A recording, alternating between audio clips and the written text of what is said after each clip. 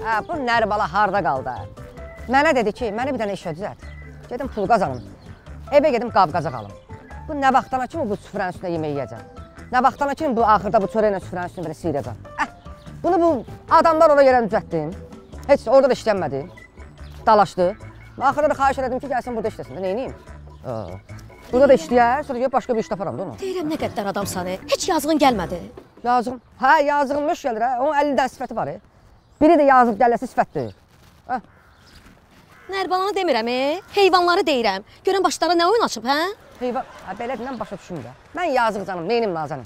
Düzəltdim bunu Damla zavoduna, yadındadır? hə, mənə də orada bir abır elədi.